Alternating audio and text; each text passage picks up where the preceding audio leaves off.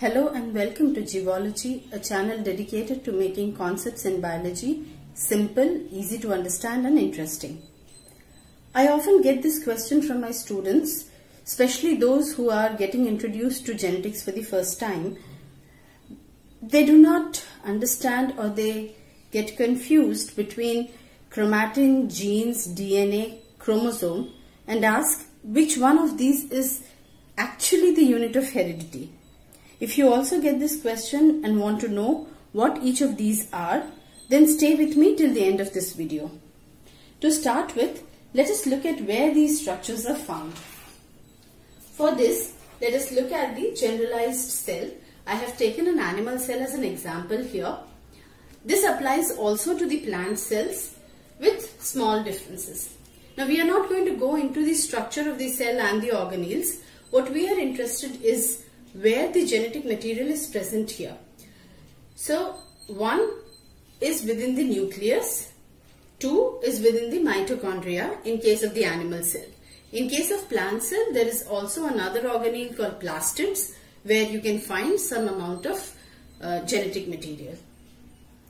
But the major portion of the genetic material being present in the nucleus, let us take nucleus uh, uh, exclusively. So nucleus as you can see is a spherical body which is almost centrally located. It is surrounded uh, or protected by a double layered membrane. Again we are not going to go into the integrities of the structure of nucleus here.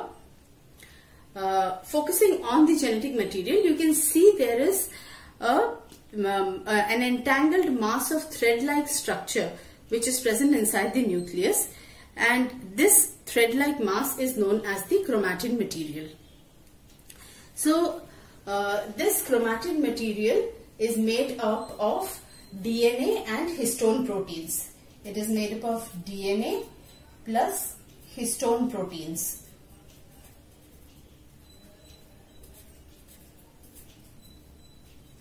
Okay. So chromatin material is this entangled mass. Now this is what we see in case of an undividing cell. But what happens during cell division. Now, if this mass of entangled thread has to be divided into two equal parts, that's going to be a very difficult uh, thing to happen. No, and in fact, if you have to cut it, uh, if the cell has to, to get divided, it will not divide equally. Whereas we know that in an offspring, the offspring gets half of the chromosomes uh, from the father and half from the mother. How are you going to divide this ma entangled mass equally? So what in, happens in reality is that during cell division, this mass of entangled threads starts um, you know, condensing or starts uh, becoming uh, entwined and then it forms rod-like structures which are called the chromosomes. These chromosomes are found in pairs one from each pair goes to uh, each of the uh, you know uh, gametes. So cell division is a separate topic. We'll see that separately. Now if we had considered animal cells um, uh, and if we had taken a human cell then we would have got 23 pairs of chromosomes. Now taking each of, uh, take, let's take one chromosome as an example here. So during division, you can see that the chromosome has uh, two chromatids or two arms. That's okay. Uh, we are not ge getting into that. But when you look at the structure of the chromosome, we find that these chromosomes are thread-like or rod-like structures. They are present inside the nucleus of the cell and they carry what are known as the genes. So these genes are present in linear order and the location in which the gene is present is known as a locus. So multiple locations are called loci, single location is called locus.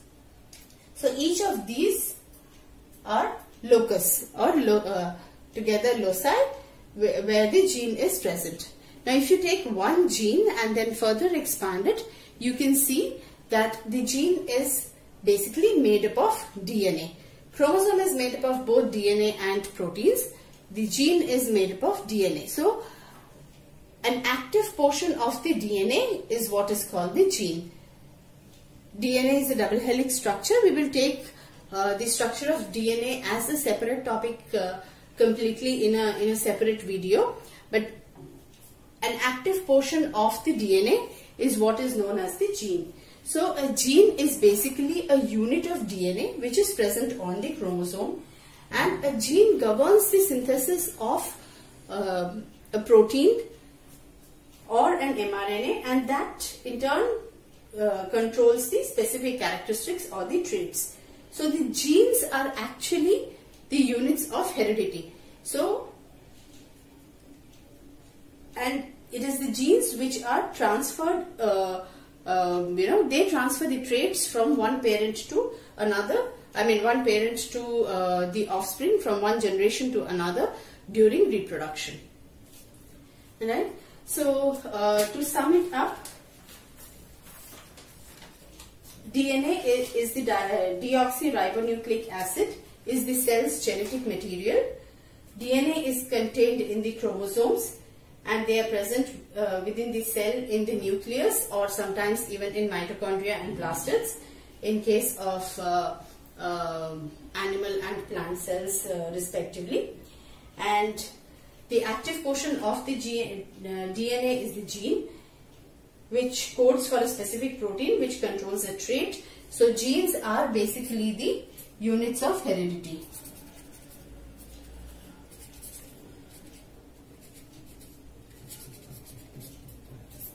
Yeah, and uh, it is the genes which transfer the characteristics from parents to offsprings during reproduction.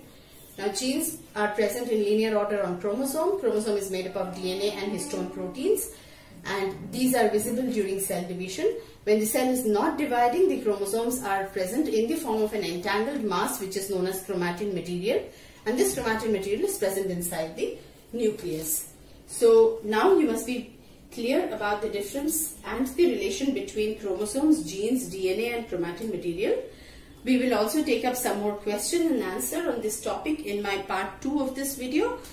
Do uh, visit that as well for getting the maximum benefits because when you do it now you will get to understand uh, you know uh, when the concept is fresh in your mind you will understand uh, it better and solving these questions now will help you to absorb the concept deeply and you will not need to memorize it again.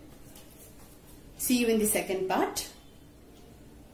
If you like uh, the video or if you have any uh, suggestions or queries or doubts, concerns, please do write in the comment section of the video and do not forget to like, share and subscribe to the channel.